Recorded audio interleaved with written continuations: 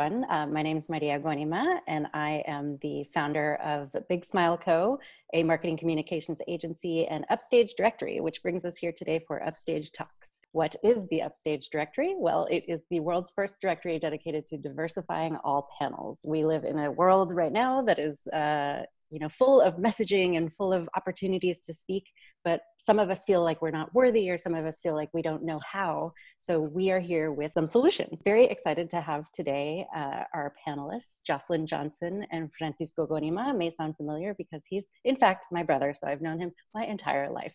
And jocelyn i've known more than a decade and absolutely am thrilled to have you both here. Again the topic for today is around storytelling, uh, basically storytelling 101. And we will dig into all of the details of what it takes to make a story, all the things that you have to think about when you're presenting that story to an audience. And the two of these folks are wonderful experts in those spaces. Jocelyn, please introduce yourself. Thanks, Maria, for having me. I'm really excited to talk about this and, and, talk about crafting story. My background from the point when I was a kid has always been a storyteller. It's actually a joke in my family that I was a chatterbox and would get check marks in school for talking nonstop and telling people stories. So it's sort of innately in me to be a storyteller. It's no surprise that my career ended up being in PR, communications, and journalism, where really I live and breathe storytelling. Um, this is also, I just realized as you were doing the introduction, a little bit of a funny uh, full circle moment for me because um, our eight year old is actually learning about storytelling right now and all of the different elements that go into nonfiction storytelling. So we've been writing a book. Um, we actually have two books that are due by the end of the week that are all focused on the structures of a story and how to break down your story in your book and how to craft that angle. So it's been kind of fun to see that play out from, you know, my home all the way through to my career where I coach executives and companies on how to craft their stories and their messages for the media. And then also um, with you know friends and colleagues and peers on their own personal stories and branding so this is going to be a really fun topic to dive That's into. Uh, I can't wait to. I can't wait to read those. That's so exciting. Actually, share some of the tips that are coming through.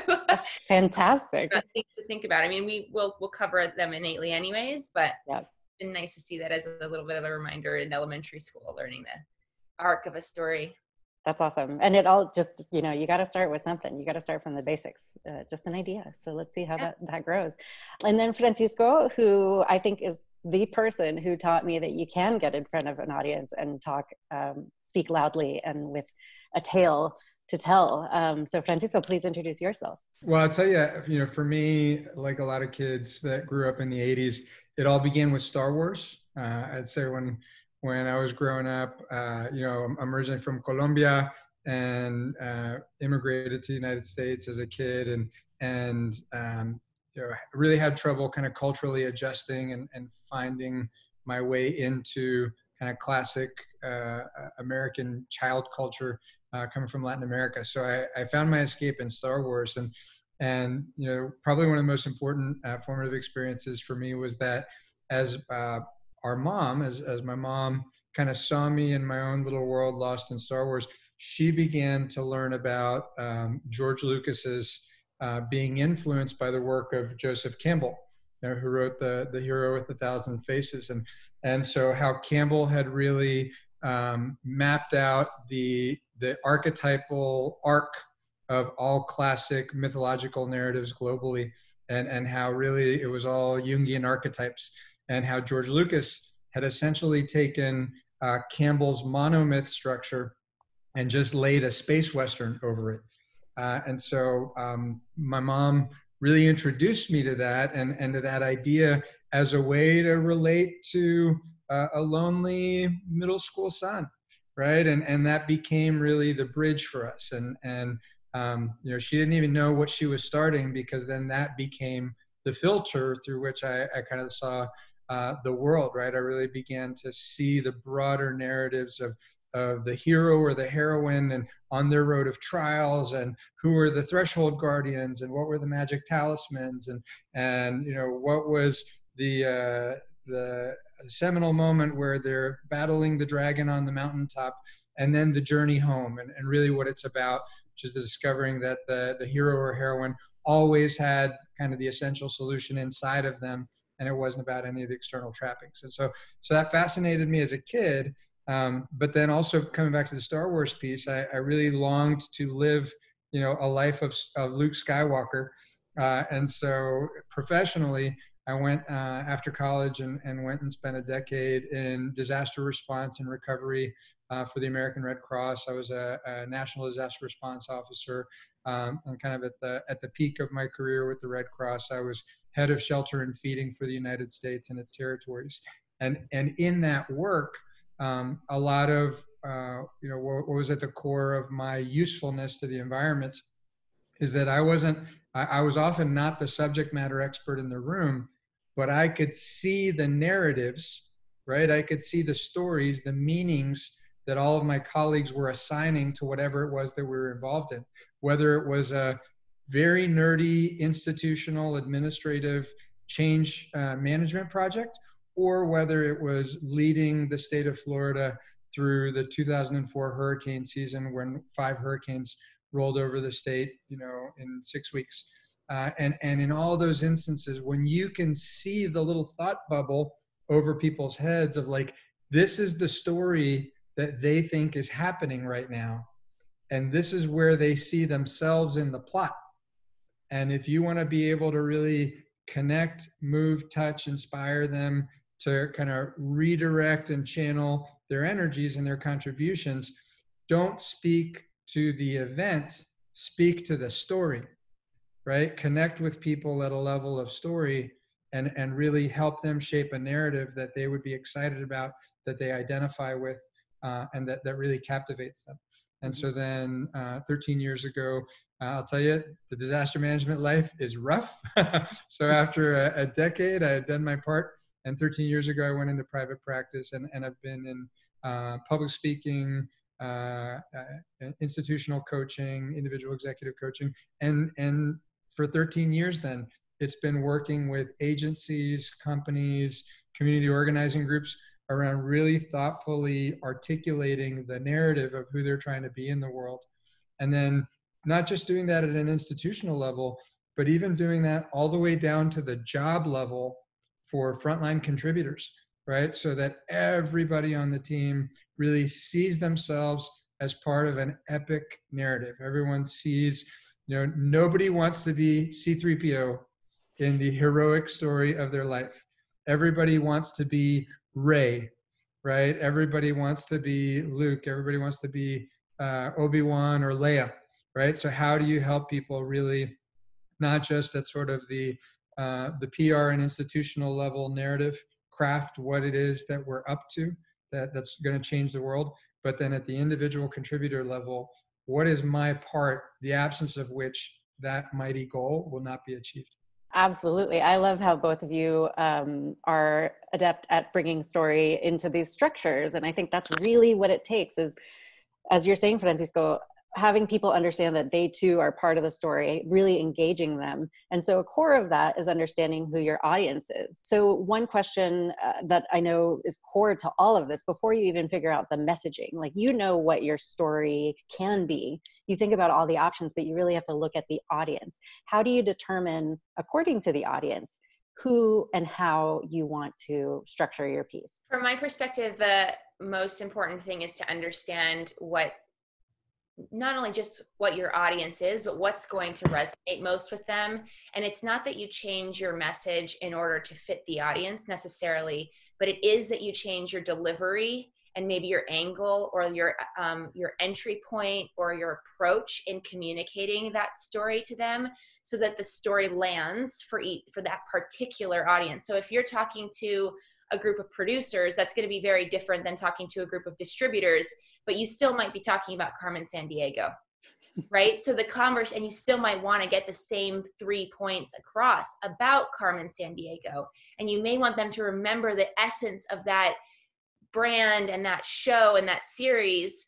But the way that a producer is going to resonate with that is going to be very different than someone who's a distributor who's going to be thinking of reach and money and monetization versus creative and visual elements and pacing like what we're going to talk about today so yep. i think just being very clear on who who is listening who's the who are the recipients that may be in a mass audience perspective you may be presenting to a larger group it may go all the way down to the micro where you're thinking about a specific reporter family member um, the guy you're talking to at the gas station to help like give you a good deal or get your car done faster or something right? Like you have to be thinking of you know what's your story arc? And when you really get good at this you're you start to innately sense your audience and then you can deliver the story to them in any context of your life. It doesn't matter if it's in a business context or like i said at the gas station trying to like appeal to some guy to maybe rush a little bit or let you cut in line you know? I feel like you use this often perhaps. How about you francisco? At the gas station though good. Uh, All right. Old example that came through right? No, I, I couldn't agree more, Jocelyn. And I think it's about how you curate your your delivery to lift up different notes, right? If we think about a beautiful piece of music, right, a, a, a beautiful piece of music that that has lots of different instruments, a different arranger will uh, pick a, an arrangement of that piece that lifts up different notes, right? That that the same piece of music in the hands of a different arranger will will be more forward on the strings or or maybe more forward on percussion because they're trying to create a different experience. And and similarly in in the work we do right? If you're doing this at a professional level you have you know you have a body of work that's the reason they invited you and and they came you know they want you to share that body of work but i think the difference between a storyteller and and somebody that is essentially just delivering canned material is that ability to connect with the audience, right? Is that ability. Um, you know, one of the things that I, I heard the beautiful story on on uh, NPR a couple years ago, where they were talking about uh, MRI uh, scans that had been done when master storytellers are doing their thing, and and that you know the participants in the study had all been hooked, hooked up to MRIs, and as the the master storyteller was spinning their yarn, within about two minutes, the the wavelengths of everybody uh, participating in the study had synced up. It was crazy, right? And so from that standpoint, it's all about that connection. And so one of the things you know that I'll ask is, you know, we're we're there um, at the at the behest of whoever invited us, right? So I always spend a lot of time on discovery. Um, you know, anytime I'm I'm invited to to speak with a group, I'll ask to do a minimum of three audience interviews, right? So who are three people that are going to be in the room or who are three people that are emblematic of who might be in the room? Uh, and let me spend a little bit of time with them so that I can really understand, you know, where are they at? Why do they think they're coming to listen to the talk, right? The sort of classic, what's in it for them, right? What's in it for me? So understand what was it that brought them there. And then that tells me how I work my arrangement, right? How I how I work the mix on the soundboard to lift up the notes that allow them to connect with it as early as possible. And, and then kind of using what we know about how the adult brain learns, I'll always try and, and uh, kind of guarantee that we hook into them feeling like the stories about them right? By you know i always make it a goal anytime i give a talk um, within you know the first two to three minutes there's going to be a have you ever had a time when question right? Relevant to whatever uh, i was asked to come in and talk about. And then i'll ask them to turn to a neighbor or to turn to two or three neighbors and just spend a quick minute before i've even launched into anything right just anchoring with a neighbor an experience that they've had that that resonates with that and essentially if we think about the brain as uh, a computer's uh, file system right? That process of inviting the person in the audience to connect with a neighbor about their own lived experience is essentially them clicking through uh, to open the file, right? And then hit record from an existing file. And so at that level, you're now speaking your story into a lived experience that they already have so that now they're seeing themselves as the protagonist in your story. Even you know even if the story might be about your experience they're experiencing it with them as protagonists and and that's what it's for right? People don't come to hear your stories because they came to hear your story right? They come to hear your stories because there's a hope that something in your story will resonate and reveal something about themselves that they hadn't previously tapped into. This is a i think one of the techniques of, of grounding in a way not only for you the storyteller but the audience. Er, we talked earlier a little bit about the notion of grounding but also surrender. You know you're walking into a room you're at odds with your own nerves and your own story that you're telling in your own head that's distracting from the story you're about to tell before this audience. What's the element of surrender and how do you prepare to tell your story? Because there has to be preparation. There's not a a person i don't think who could just like walk in and be like story i got it we're going. Um, you kind of have to really think about it. Again all those things you're thinking about the audience are you sweating? Are you do you look nervous?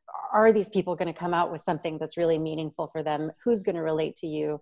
You know you're thinking about all these things there's too much happening but how do you come up with the way that you will connect that you will be grounded and be able to tell your story well in front of an audience. You know i think that when it comes to your presentation you're absolutely right that there's always going to be an element of preparation that needs to happen. Um, as part of that i think rehearsing your key points and knowing like your power phrases certain things that you want to get through to the audience in advance of going and delivering your presentation and really getting those committed to almost like your muscle memory, right? It's like when we're learning to ride a bike and they say that you can go back and you never forget how to ride a bike, it's largely because you've trained your brain and at a cellular level. You've got this muscle memory that just triggers how to ride a bike.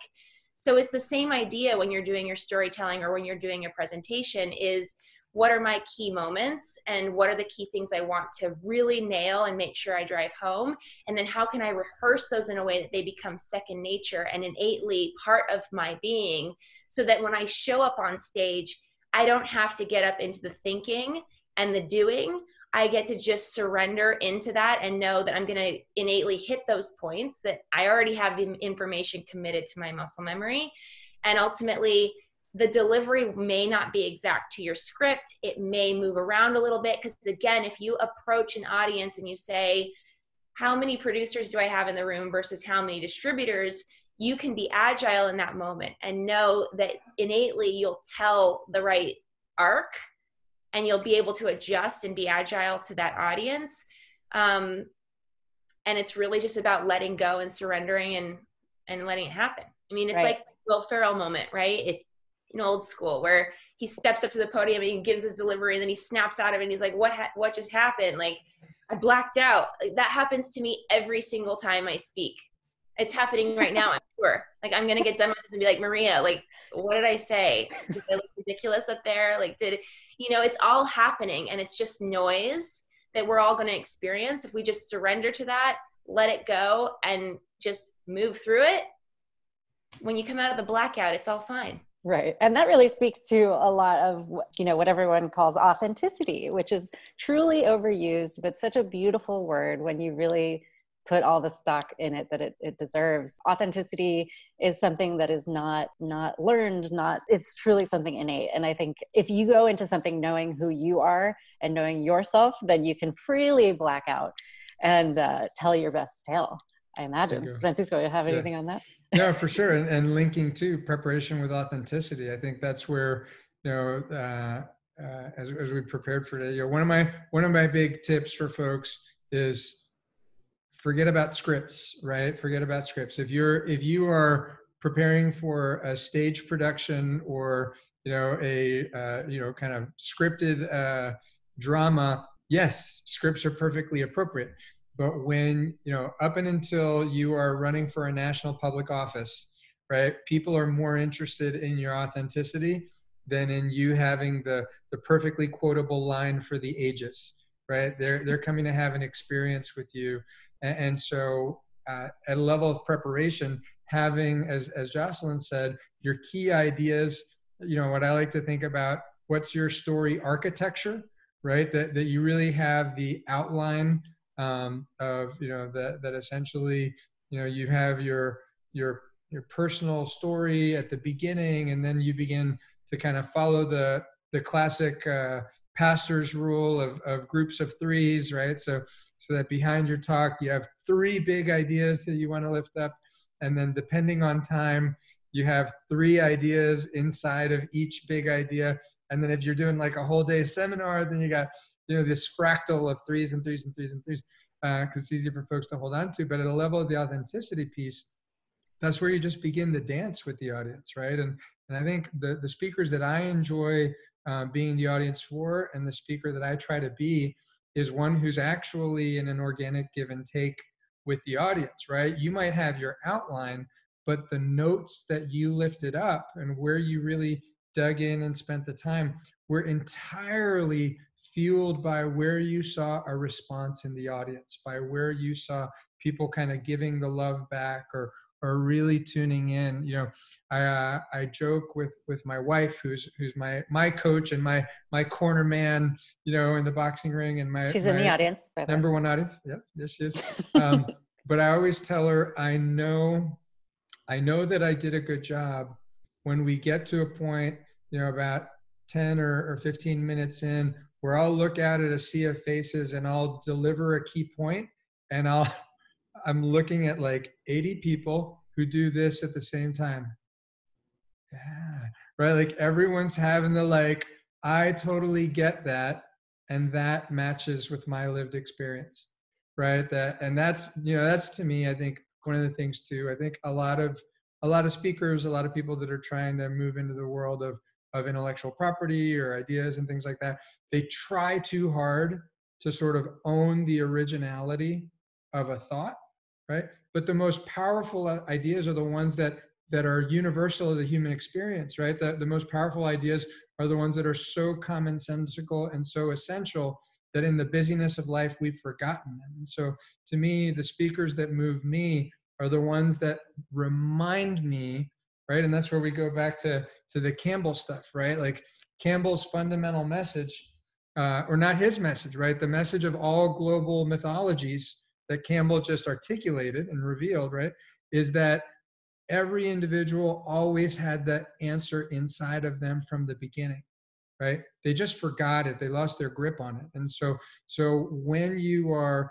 authentically in a dance with the audience when yes you've got your talking points you've got your main messages but but you're really connecting and you're you're you know you're delivering fan service so to speak that as as you're seeing that parts of what you're sharing are more meaningful, you're slowing down, abandoning parts of your outline if you need to, but to really give them what is landing, right? And and and really serve that well. Um, because you want people walking out of your talk reminded that they are whole, complete, and perfect, right? Not that the speaker was whole, complete, and perfect. Absolutely. I think one of the most important things you mentioned the rule of three. I think for a lot of people sort of new to speaking or that maybe don't want to be conscious and dialed into audience, they want to put it all in there. They want to make sure they hit every single point um, without structure. And so that requires editing.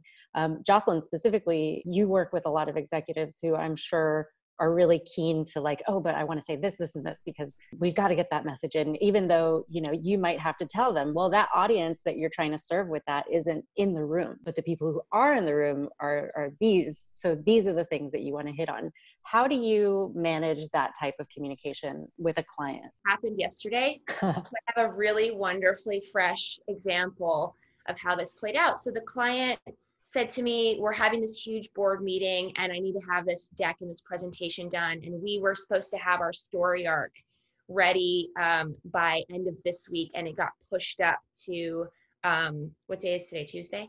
Yeah, so it got pushed up to Monday. Today Tuesday? It's Wednesday. It's cool.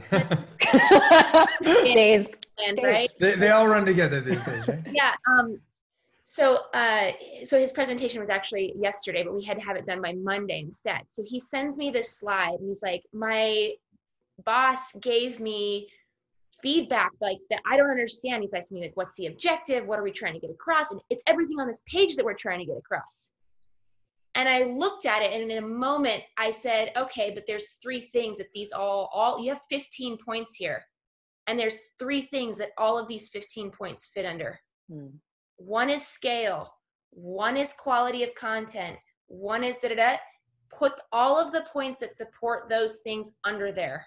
And it's like we nested, it was the same amount of information.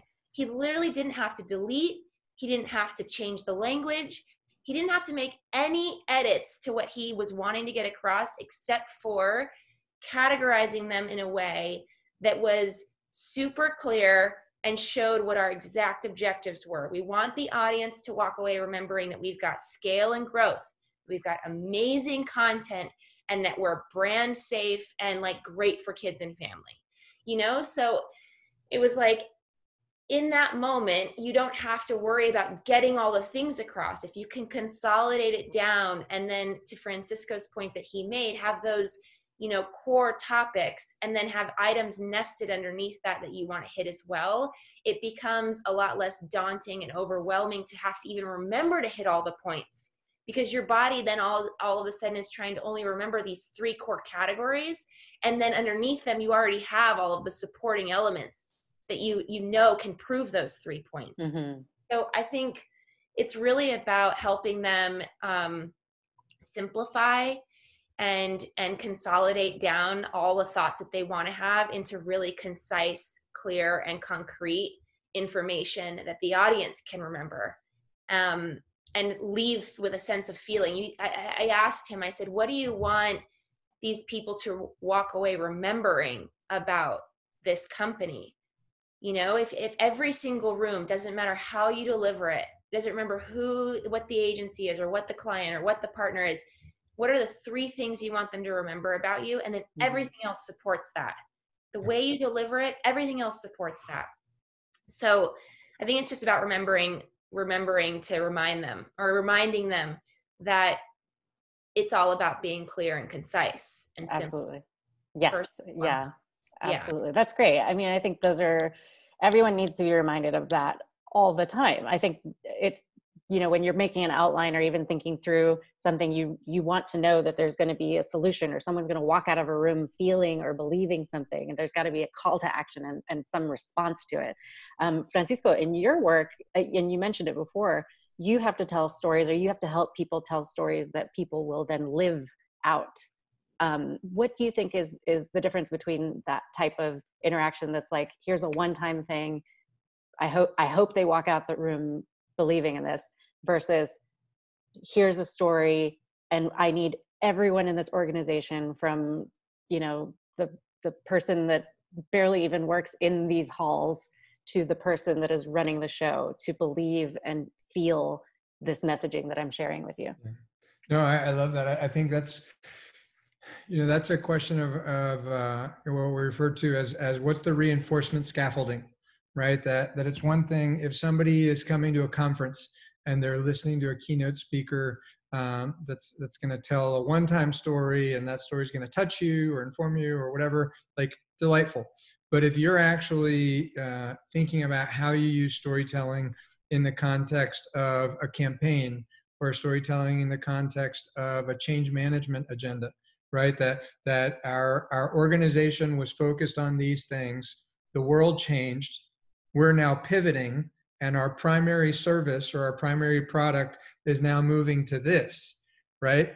Um, what we know in in the field of, of human performance is you you need about 90 days of consistent reinforcement for people's brains to finally trust believe in and make the pivot right? So if you just give the speech to end all speeches with the most gripping human drama at the heart of it that simply won't do it right? You have to actually take those outlines, take those key messages, and turn them into reinforcing and consistently reappearing sticky language that you know the members of of that audience of that tribe that you're trying to really um, make inroads with will continue to have what we refer to as incidental contact with right like how do you make sure they keep bumping into those ideas right and then how do you make sure that whatever leadership in, is involved in being the steward of the pivot is actually embracing and integrating that language, right? Because in essence, every time they hear that language, it's pinging the neural pathway, right? It's pinging the file in their brain and saying, oh, this is a real relevant thing. Here I am seeing it again.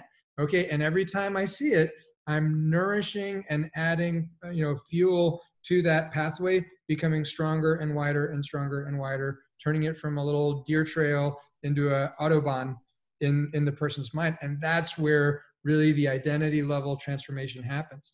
Uh, you often see people that have an incredible story to tell and that are absolutely leading a worthy cause, a, a worthy pursuit, you know, rely on one big talk, right? That one big day. You know, we see it depicted in movies where it's followed by the slow clap, right? Where everyone stands up, they're crying, they're doing a slow clap. You did it, Johnny, you did it, right? But guess what? If after that slow clap, people didn't go back to their desks and have an email that said, you know, thank you, Johnny, for that incredible message. Here were the big ideas that, that we invite you to think about how does this show up in your work, right? How do you create um, kind of small group level conversation circles where people can get a chance to kind of process the big ideas and say, this is why I believe that it's relevant, or this is why I believe it's BS. But one way or the other, you're creating scaffoldings that ensure they interact with the concepts right? How are you working it into your hr processes right? Like do if you've said you know say a popular idea or a popular practice is, is to have big corporate values initiatives right? And say these are going to be our core values. Well guess what? If those core values aren't reflected in the same words in your performance management structures and in your employee review processes and things like that, it was just a lovely speech. Right. So when you're talking about how you take great storytelling and use that to actually drive everyday practical behavioral and institutional change, if you don't have ways that those key messages show up in the landscape so that people bump into them on an ongoing basis in context, right? Like in the performance of their work or in pursuit of the objectives, then what we know about how the brain acquires, retains, and integrates information is that it will just run off uh, in time and you'll you'll fail to really get that integration. To that point, I, you know, we, we see this play out in the media landscape all the time. I mean, you can watch any of the um, former presidents, current president, and you'll start to notice that they use key phrases repetitively over and over and over again. And everything that is wrapped around that key phrase could change. But what ends up happening is that the it becomes a culture, a, a piece of the um, cultural fabric of the company, of the country of your mini group of your friend circle like if you start to u- utilize certain phrases over and over and over again to again to Francis, francisco's point about the neural pathways it reinforces that validates it and then it almost becomes part of the, that cultural tapestry mm-hmm. within any group right mm-hmm. and so that's really the power of language the power of messaging and the power of story I always call it singing from the same hymn book when trying to explain to uh, uh, someone who I'm coaching through a, a, story. You know, you want everyone to be repeating this and to really take it in. So if it's very long, you can't really do that. If it's yeah. brief and real and meaningful to not only you, but others, that will resonate. Um, and so both of you sort of talk through identity uh, and and what that means. I want to dig into some top tips from you as we start wrapping up but i know this was really important to all of us to talk about. You know going back to the person that's going to watch this that wants to go on a stage that feels like they're not they're not there yet or they're not good enough or that they're not you know they don't have something that's valid or worthy to tell? How do we sort of walk someone out of that and help them identify who they are and why they matter and why they have a story? Um, just back to the very core roots of it you know before they can even get to that spotlight on them that's somewhat terrifying or before they walk in front of a room and try to imagine the audience naked. What is identity in to the core of what we're trying to say here? Yeah i'll, I'll jump in on that one. I, I i really believe that identity is everything. I, I think um, identity is the root of authenticity um, because essentially you're speaking not from a script, not even from an outline. You're speaking from the core of your being and something that that you believe at your heart is of service to others, of service to the audience, and that's why you need to share it. And I think oftentimes people are poorly served because they try and and work on mechanics and supporting tactics without getting their identity you know kind of straight and clear and you know why am i in the room? What is what is it what is it in my lived experience that obligates me to go share this good news to go share this story with these folks? Um, because otherwise it feels like selling right? Like you're not believing in the story you're telling the story. But when you're just being the story right? When you're recounting what your lived experience has taught you is true that's when it really feels authentic. I'll, I'll give you an example. Yesterday uh, i was on a, a zoom with a, a, new coaching client and we're just still getting to know each other and, and this person is incredibly high performing creative works in the design field um, and, and is sort of on the cusp of moving into ownership uh, for the design practice that, that he's a part of. But part of the feedback that that he's gotten is that he really you know in order to be a marquee partner that's going to help grow the business he's got to be able to be out there uh, visibly as a thought leader and and telling stories right and and become somebody that's recognizable as a part of the firm for people to really see him viable as a partner and he was saying yeah yeah, yeah I, you know i i know i know I need to just speak up more. I need to, you know, I just need to make myself say more things. And and as we talked about it, you know, this was the conversation, right? Was what, you know, the work isn't create a little box in the upper right hand corner of your notebook and keep chiming in on the conversation until you've collected seven hash marks, right? Like that that level of tips and tricks isn't the issue because then you're going to be the person you know uh, what was it that mark twain said better uh, better to be uh, you know mis- mistaken uh,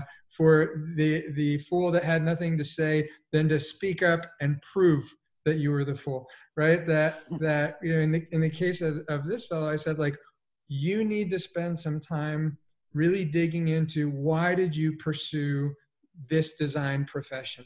What is it that moves you in the work? What is it in your design profession that that you feel is missing from the world that every breath you take is the pursuit of adding this to the world. Like when you're really clear you know in, in his instance it was the field of, of landscape architecture right? High end uh, landscape architecture.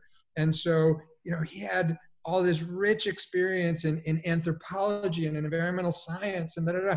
He said, man, when you get really clear about what it is that you were born into this earth to say about where you know the earth meets you know civilization and what it could be. That guy when there's a conversation happening in the room that he's got something to offer that guy will not be able to restrain himself from offering something thoughtful and valuable. But if you're trying to sort of fight your inner introvert and just chime in for the sake of chiming in you'll actually kind of render yourself irrelevant right? And, and i would say that's more harmful. So so at that identity level right for me it was the journey of, of being uh, a disaster response professional while trying to also balance you know who i was going to be as a whole and healthy person and who i was going to be as a parent right? And and you know how then do i make hard choices and live inside of those choices by you know uh, declining the the route of institutional advancement and rather you know working uh, with smaller startup organizations and things like that. So so that narrative um, is why i believe and, and my my clients tell me so why the things that i try to offer them resonate and move touch and inspire them to consider different choices than the path that they were on right? Because I am invested and believing in and living the advice that I'm giving them. Uh, I think the individual that has done all of kind of the technical formation, but is still muddy and foggy about what their emotional, historical, cultural core is, about being in that room, being in that situation, will just sort of throw spaghetti at the wall, you know, and some things might be useful and others won't be. But there will be a fundamental coherence that's missing that will leave the audience in doubt. Jocelyn?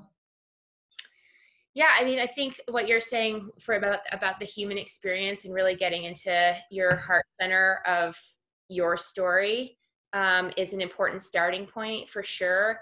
I also think there are um, three other things that I would re- reference. Um, the first one would be that everyone has noise, and everyone has noise about the the validity of their story, maybe the value of their story, the impact that they'll have. There's always going to be some layer of noise that each person is going to be bringing to the table. That's also just part of the human experience.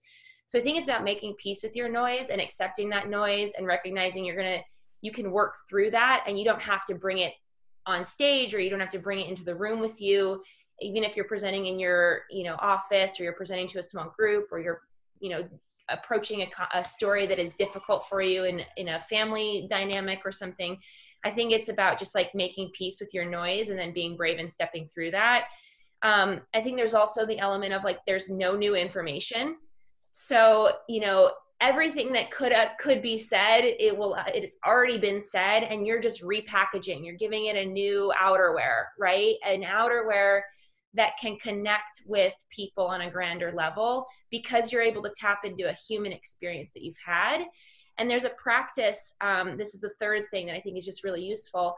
There's a practice in meditation called Tonglen meditation. And it essentially speaks to this point that your experience is not just your experience, it's a shared experience across everyone. So if you're experiencing crazy, crazy anger, or crazy, crazy anxiety, or crazy fear about speaking, you can start to think about all the people all around the world who are experiencing that exact same sensation at the moment and identify with what that's like and immediately it diffuses the the energy around that so i think if you're able to you know go into that noise and think through okay how is this noise showing up for me? And then this is like a shared experience across the board with so many other people and like that is so tough and what i'm experiencing is so tough but i get the opportunity now to step through that and then deliver my story because at that moment you've now dropped into your human experience and you know that what you have to share is shared with everyone in the room right everyone in the room experiences fear everyone in the room here has some noise that they're dealing with and by you dropping into that experience yourself you're going to be able to speak in a way that helps them connect back into you and walk out of that room feeling, you know, like Francisco saying, really immersed back into what you just shared with them. I think to that point, we, you know, we all have a story, and I think that's that's the main thing. That's the goal of Upstage is really to help people find their story get comfortable with it and share it. So we should be wrapping up. Um, I would love to ensure that you guys get your tips in, and then we have a question. I don't know if you want to shoot off some tips or if you you know feel like you've already kind of covered them, but I would love to hear what you guys have to say. One quick tip that we had um, discussed in our prep that I don't know that we um, well we didn't get to it, so I'll just share it through here was a, a little bit about pacing mm-hmm. and um, going in and realizing okay I was listening to the audience. I was picking up on their, um, you know, nonverbal cues about whether they were leaned in or whether they all picked up their cell phones at the same time or whether I saw Jenny across the conference desk like check out and start doodling. You start to pick up on those things and it impacts your pacing. So um, one thing, one tip that we, you know, we discussed was having your three areas that you want to cover, but knowing that you can slow down and spend a little bit more time on that and having one of those three that's axable. Yeah. I can cut this one out. I can abandon that because if it's if these two core points are really resonating with the audience, I'm going to be in greater service to them by spending time on these first two and completely abandoning point 3 and having uh, those other nested topics underneath that I can dig into and get juicy with rather than trying to force in these three things that you wanted to accomplish. So I think that's just a good tip to like of your three, decide which one based on the room could be cut out. And uh, tagging off of that, everything that uh, Jocelyn said, which then links into how do you think about the way you're using visuals, props, other supporting materials, right? The more detailed your visuals are, the more you've painted yourself into a corner hmm. right the more your hands are tied that's why you know i've really enjoyed i would say as a you know, being being in my my mid to late 40s uh, i remember when a lot of presentations and talks were like PowerPoint text heavy, heavy, heavy, where it's like bullet, bullet, bullet, bullet. And depending on what the content is, sometimes you need to do a little bit of that, right? But but to Jocelyn's point, if you're telling a story and you need to abandon something, well, the problem is you've got seven more slides, and how do you ditch that ballast now uh, to make room without creating awkwardness, right? Also, too, as a tip or trick, I, would, I advise folks don't share your presentations until after you've given the presentation, right? Invariably, my best presentations, exactly to Jocelyn's point, are ones where I, you know, I really tuned into the audience and abandoned the parts that didn't feel as relevant once we got into the dance, right? And so, if the audience, you know, has your deck ahead of time and they saw that you had like 10 things that you were going to go through and you ended up only giving them seven now because of that regardless of whether they enjoyed the heck out of your story because of that now they're like oh well i just totally got shortchanged three right but but if at the end you're able to then norm whatever your takeaway is to how you actually you know how the jam session played out right they're like this was delightful right that that you know i think what happens is people uh, that love storytelling often love detail and love the richness of detail but that can prompt us to be unduly OCD with our material. And we can get too emotionally attached to things that might generically have been important, but in this instance of delivery, that wasn't where the energy was. And so the ability to let it go. So, so in terms of the, the tips and tricks, you know, I'm, uh, as I mentioned earlier, I'm always a big fan of discovery.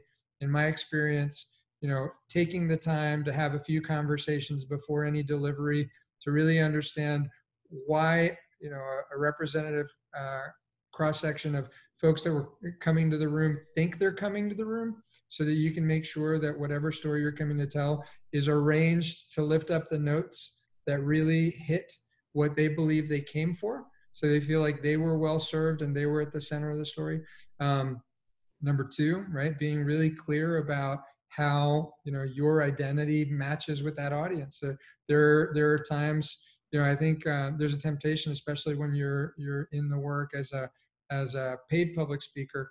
There might be a temptation to you know any any gig that pays is a good gig, but I think that's a mistake, right? There there have been opportunities where somebody uh, came to me through a referral and and they heard that I was good, but then once they really laid out who their audience was, what the context and purpose of the convening was, like you know, I don't think I'm your guy.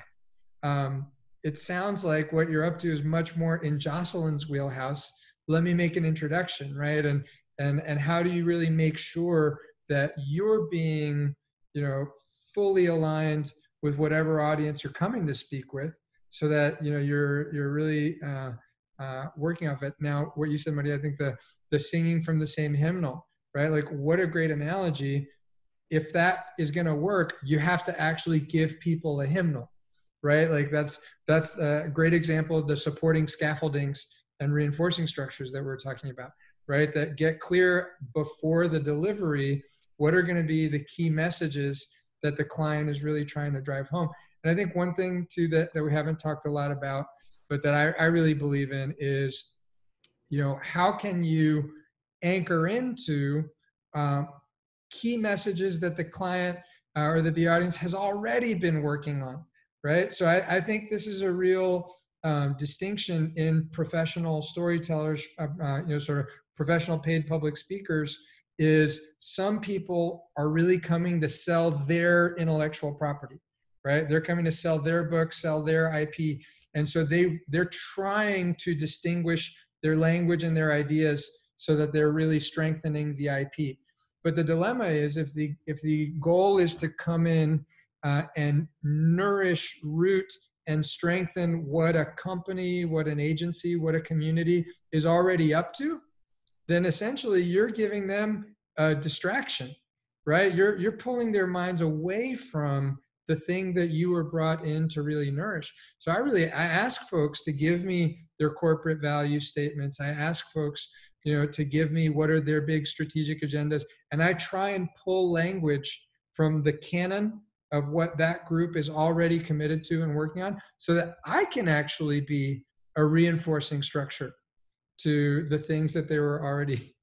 sorry i'm like trying to cat, i'm trying to get cooper out of here but the cat has appeared. So so i think that's that's the stuff. Bottom line it's about the audience um, and and understanding what they came here for and what they need to get out of it uh, and then making sure that you're aligned with that not about making yourself as, as the speaker the center of attention.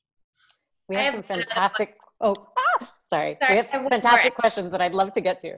I think it's going to tie into one of the questions that I see on this um, yeah. item, which is um, let go of perfect. The audience doesn't know what they don't know. So if you're making, you've seen these speakers, right? Um, and you can identify the true performers who make a mistake and just keep rolling. They don't call it out like, "Oh, oops, I was supposed to go on that slide." Or like um, I was we I'm working with a client right now called Live by Live and they had this performer and she got chained to her she was doing a live stream performance and she was actually like performing like an arena style performance dance routines and changing outfits. And halfway through the performance she was in this chained outfit and got stuck to her stool. And a guy like rushed on camera and like helped her unchain herself from her stool and she kept performing through the whole thing but can you imagine how that would have impacted the viewing experience if she had said oh i'm stuck to my stool. Hold on. I'm going to restart my song. You know it, it just like is interruptive and the fact that she went through that was humanizing and also just like a testament to her ability as a performer. And i think when you're a speaker if you blow past five of your points they don't know what they don't know. Yeah. You don't have to yeah. stop and be like, oh, I was supposed to tell you guys about cats. I forgot about that.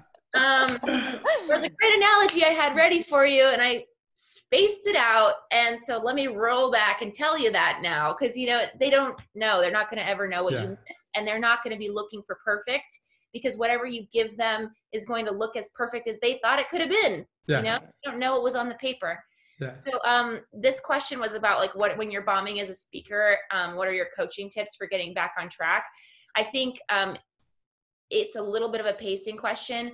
There is no reason you can't stop and take a breath. This is the same thing when you're doing an on-camera interview. If you don't know the answer, rather than filling the time with a bunch of words that make no sense and make you look uncomfortable, take a breath. Give yourself a quick moment to just reframe, yeah. get out of your head, and move on, right? It's like, don't linger and don't just try to fill the space. Yeah. If you need to take a breath, collect your thoughts, be like, I'm fucking this up, but I'm going to reset. What am I going to reset with? And let's go back into this. For all they know, it's an intentional yeah. cliffhanger. They don't know that you're not doing that on purpose to let them like be like, what's going to happen now? And then boom, you've recalibrated your entire energy field and you they never knew that you were like in your head saying, I'm screwing up, I'm screwing up, I'm really bombing right now because you were able to take a breath, reset and change your entire context right then. Yeah. That'd be my advice. And, and I would uh, to to add to that, uh, Alyssa, to your question, I would also say make great use you know we know with adult learning that people learn more past the age of 25 people learn more by referencing lived experience than they do by acquiring new content.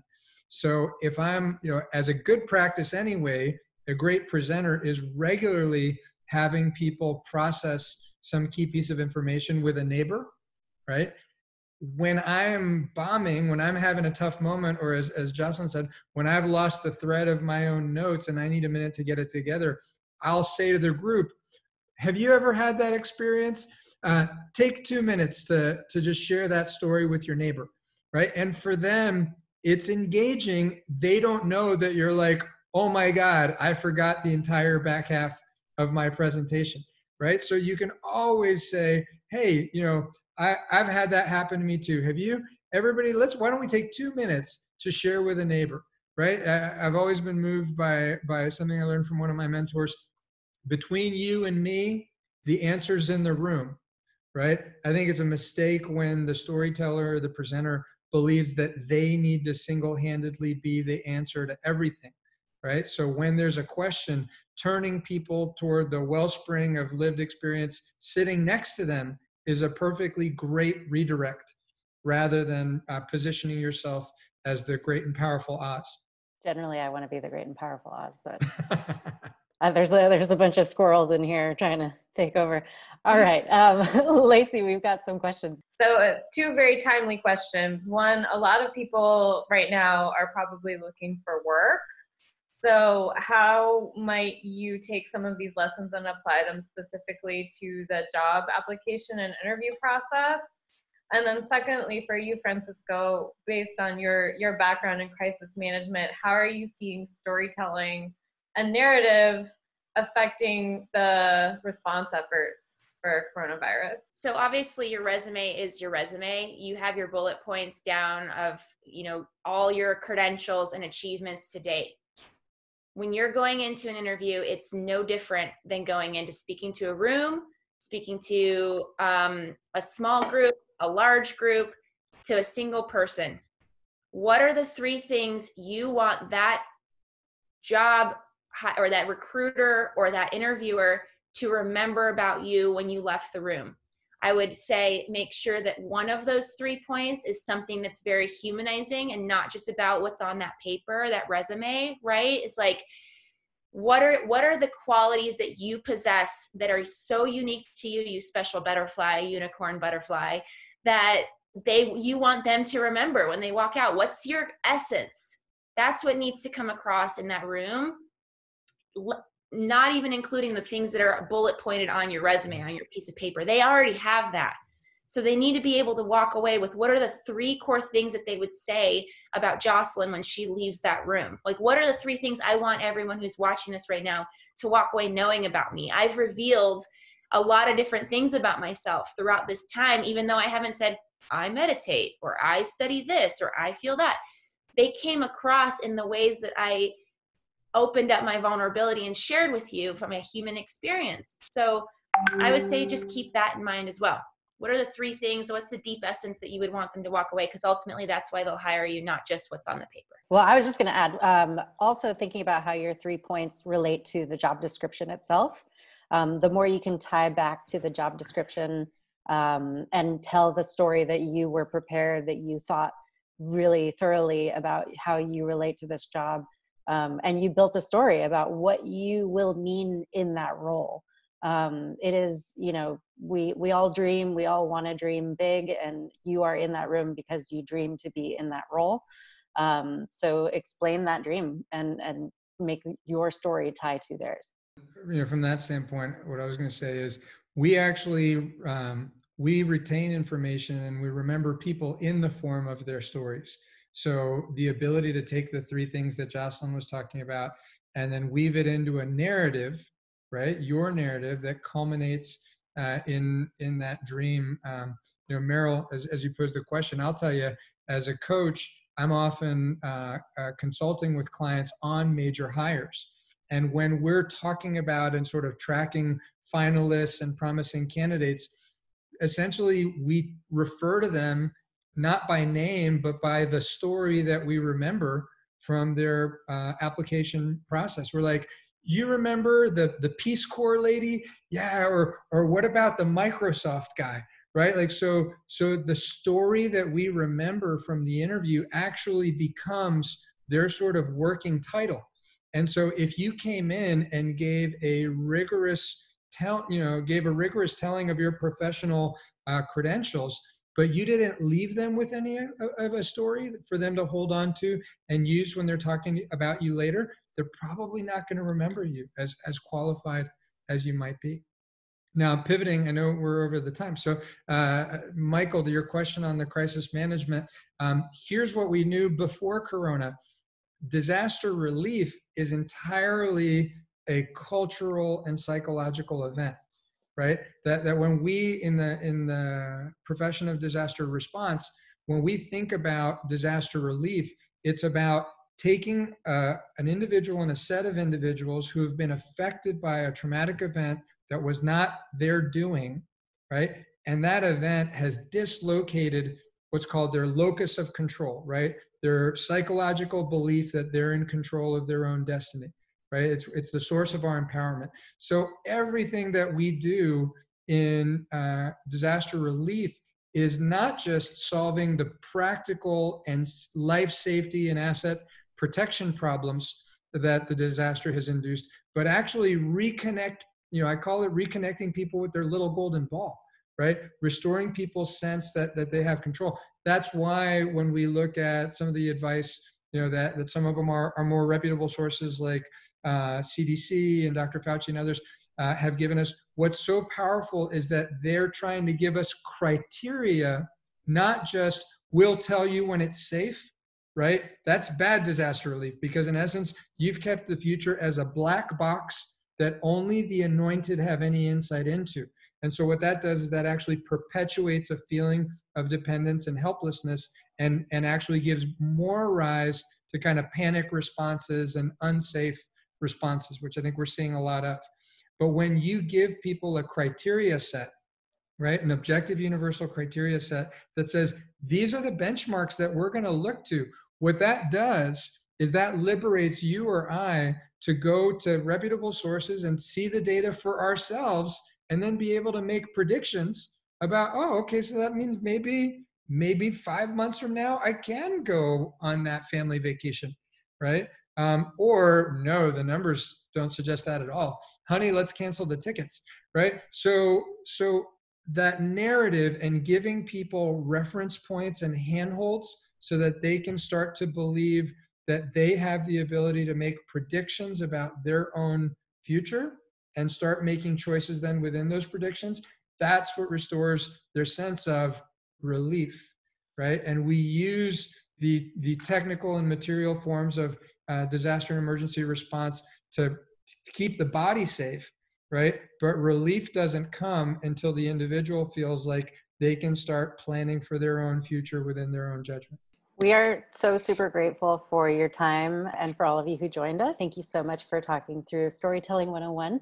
Next week, May 20th, we have a talk on reaching the right audience and digital strategies. We have two very fantastic speakers there. This, in fact, makes me think that we should do a crisis management like response chat as it. well. Let's do it. um, and I think both of you would be wonderful speakers to that too. We'll just have to figure it out. But um, thank you, thank you so so much.